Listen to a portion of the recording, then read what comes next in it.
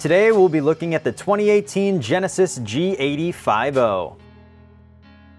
A 5-liter, 420 horsepower engine provides plenty of spirit to this luxury vehicle. These upgraded 15-spoke rims add even more class to this head-turner of a vehicle. A heated steering wheel and heated and cooled seats leave you feeling comfy in the harshest of Minnesota weather. Keep the sun and prying eyes out of your rear view with the G80's power blind system. The 360 degree camera helps you avoid roaming cars, curbs, and sneaky trash cans.